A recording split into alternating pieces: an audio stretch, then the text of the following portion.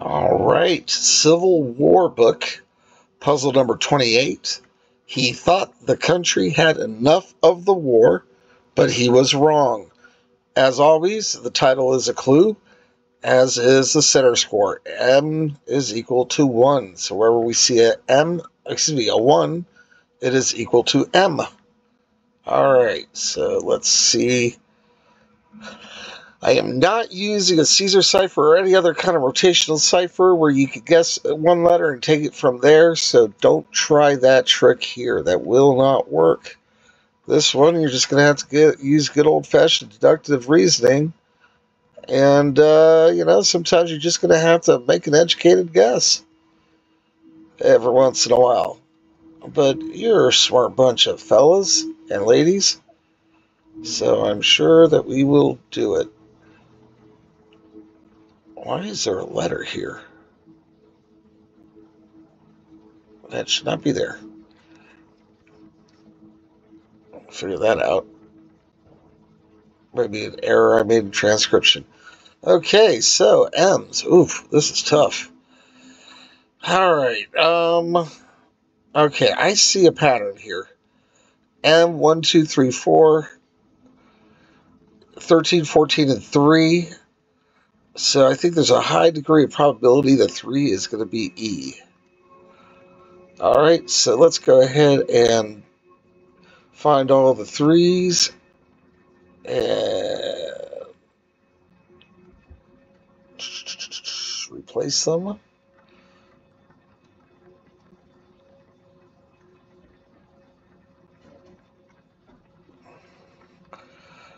Yeah, I think that's a very high degree of probability on that E. On that. Three being E.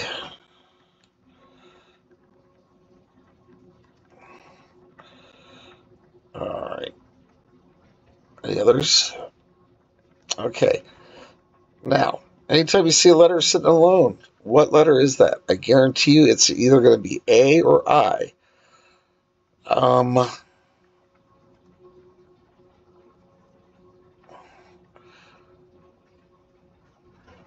It is not a quote. I don't see quotation marks. I generally don't use first person in my um, in my puzzles.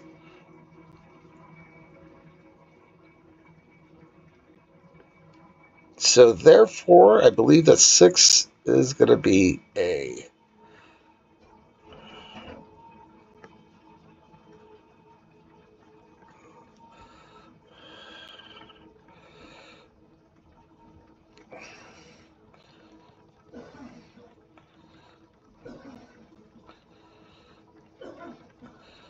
This is more likely and. Could be. It's not R because we know E is uh, already. All right. Um, I'm going to do capital letters. Oops. Reason being so that I can easily discern that I'm still working on those. Okay, let's get all the sixes first, and then we'll come back.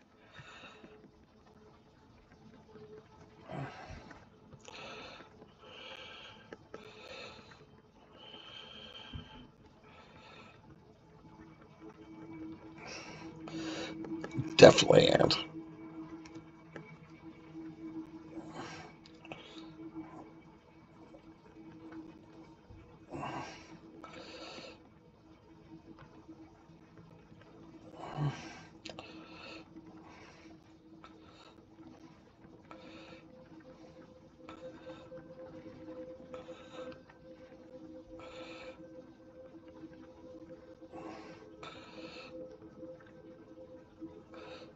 All right. Uh, let's see. So ends are nines. So go ahead and go through here and do the nines.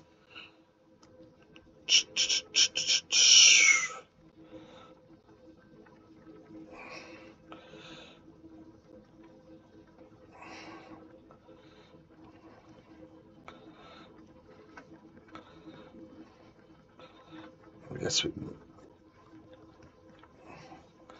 decapitalize those two.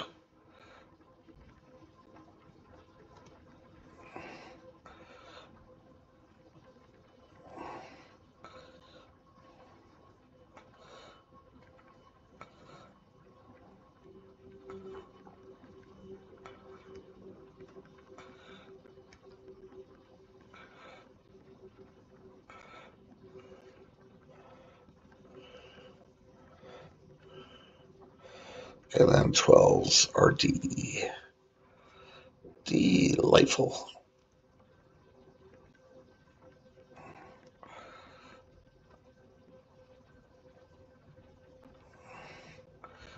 Guarantee you two is E.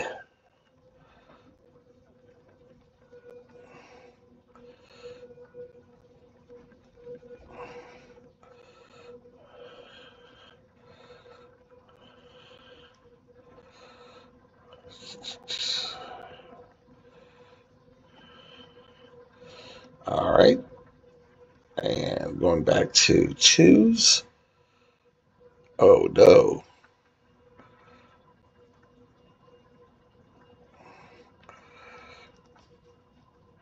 Why did I think six was E?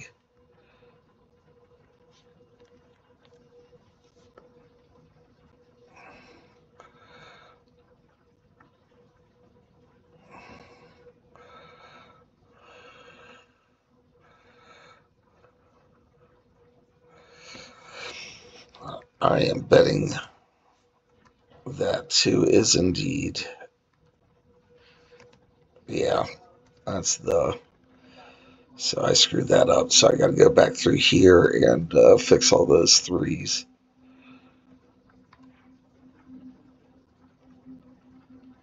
Which means that I made a wrong presumption. Two is E.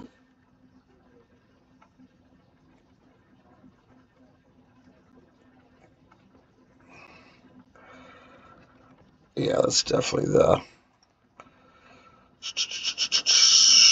two is E.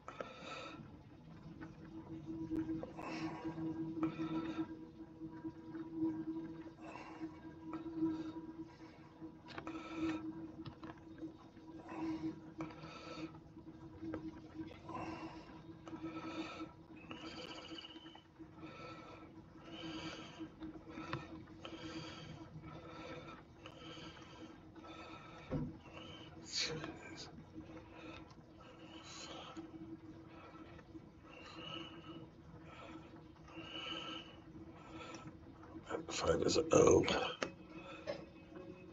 And seven is S.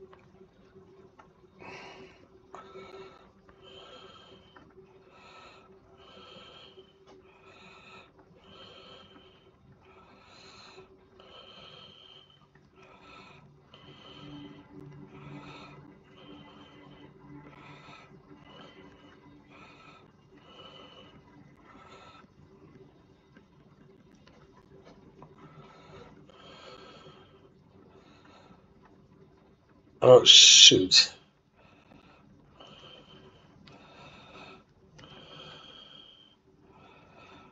Oh my god. I am, I am really, really, really off on this one. Oh yeah, yeah. Seven is T.